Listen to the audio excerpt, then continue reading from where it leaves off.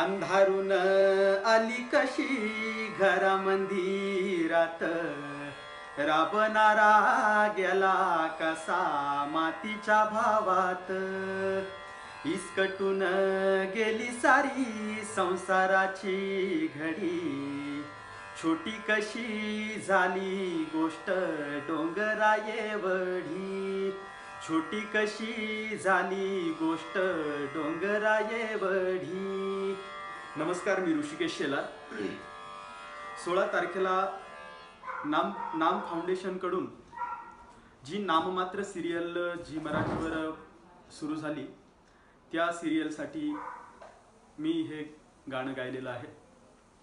प्रकाश होळकरांचा मला फोन आला ज्यांनी या सिरियलची गाणी वगैरे लिहिली आहेत.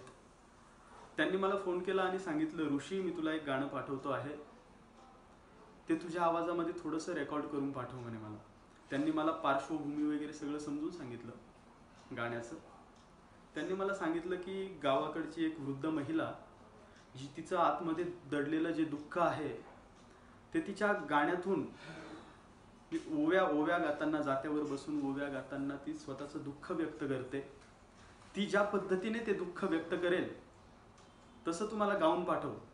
गावाकडं ओवी एखादी वृद्ध महिला कशी उभी गाते मी रेकॉर्ड करून पाठवलं त्यांनी नाना पाटेकरांना व मकरंद अनासपुरेंना ते ऐकवलं.